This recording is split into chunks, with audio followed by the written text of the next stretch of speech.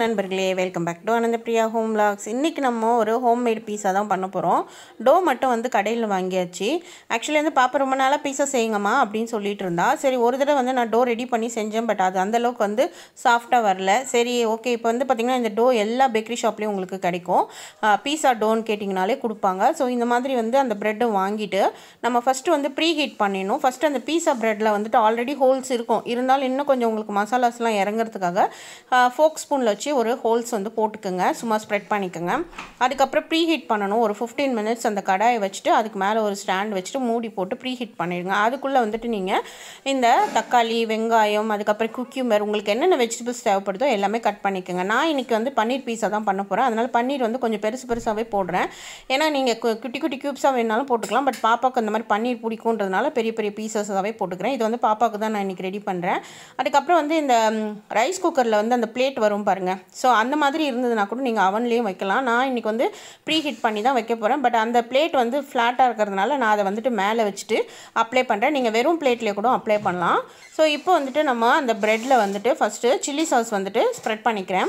அதுக்கப்புறம் என்கிட்ட வந்து பார்த்திங்கன்னா ஒரு கார்லிக்கும் சில்லியும் போட்ட ஒரு சாஸ் வந்து நான் அன்றைக்கி மரவள்ளி கிழங்கு இது போட்டிருப்பேன் பாருங்கள் வீடியோ அதில் வந்துட்டு இந்த சாஸ் ரெடி பண்ணியிருந்தேன். ஸோ இது அப்ளை பண்ணிங்கனாலும் சூப்பராக இருக்கும். நல்லா வந்து டேஸ்டியாக ஸோ அதனால் அதுவும் வந்துட்டு நான் அப்ளை பண்ணிக்கிறேன் மேலே.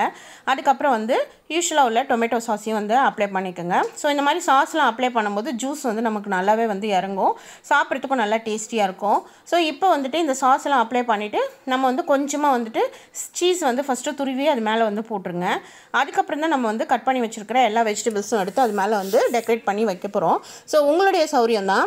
நான் எங்கிட்ட கார்ன் இருக்குது பட் இன்றைக்கி பன்னீர் நிறைய போடுறதுனால நான் வந்து கார்ன் யூஸ் பண்ணல. கார்ன் வேணுனாலும் நீங்கள் யூஸ் பண்ணிக்கலாம். குடமிளகா யூஸ் பண்ணிக்கலாம். குடமிளகா பாப்பா சாப்பிட மாட்டா. ஸோ அதனால் வந்துட்டு எப்படியும் அதை எடுத்து தான் வைப்பா. அதனால் வந்துட்டு வேண்டாம் அப்படின்னு சொல்லிட்டு மக்காவும் நான் வந்துட்டு போடலை. ஸோ இப்போ வந்து பன்னீர் பீசஸ் எல்லாமே வந்துட்டு நல்லா வந்து ஸ்ப்ரெட் பண்ணிவிட்டு டொமேட்டோ ஆனியன் வச்சுருக்கேன். ஸோ இப்போ வந்துட்டு பார்த்திங்கன்னா மறுபடியும் சீஸை வந்து நல்லா மேலே வந்துட்டு தொருவி போட்டுருங்க. எவ்வளோ உங்களுக்கு சீஸ் பிடிக்கும்? ஆக்சுவலி என்கிட்ட இன்றைக்கி வந்து க்யூப் சூஸ் தான் இருந்தது. பட் நீங்கள் வந்துட்டு மொசரலா சீஸ் இருந்ததுனாலும் அப்படியே வந்து ஸ்ப்ரெட் பண்ணிக்கலாம். என்கிட்ட இன்றைக்கி அது இல்லை. ஸோ திடீர்னு தான் பிளான் பண்ணதுனால அப்படி இருக்கிற சீஸை வச்சு நான் போட்டுட்டேன். மறுபடியும் வந்துட்டு இந்த லிட்டு போட்டு அட்லீஸ்ட் வந்து ஒரு ஃபிஃப்டீன் டு டுவெண்ட்டி மினிட்ஸ் வச்சு பார்த்தீங்கன்னா சூப்பரான பீஸா வந்து நமக்கு ரெடி ரியலாகவே டேஸ்ட் வந்து பாப்பா சொல்லியிருந்தா கடையில் செய்கிற மாதிரியே இருந்தது அப்படின்ட்டு. அப்புறம் pizza mix and then chilli flakes அந்த மாதிரி இருந்ததுன்னா நீங்கள் மேலே வந்து டாப்பிங்ஸ் கொடுத்துடலாம். எங்கிட்ட வந்துட்டு பார்த்தீங்கன்னா oregano and then pasta mix இருந்தது. ஸோ அதை மட்டும் நான் மேலே வந்துட்டு டாப்பிங்ஸ் வந்து கொடுத்துட்டேன். இப்போ எங்கிட்ட அந்த உருளைக்கிழங்கு கட்டர் இருக்கு இல்லையா? ஸோ அந்த இதை வச்சுட்டு நான் அப்படியே வந்து பீஸா வந்து கட் பண்ணிட்டேன். ஸோ சூப்பரான பீஸா வந்து ரெடி ஆகிடுச்சு ஸோ நமக்கு வந்து பார்த்திங்கன்னா லோ காஸ்ட்லேயே வந்து ஒரு பீஸா வந்து நம்ம ரெடி பண்ணியாச்சு. இந்த ப்ரெட் வந்து பார்த்திங்கன்னா காசு வந்து ரொம்ப கம்மி தான் நமக்கு.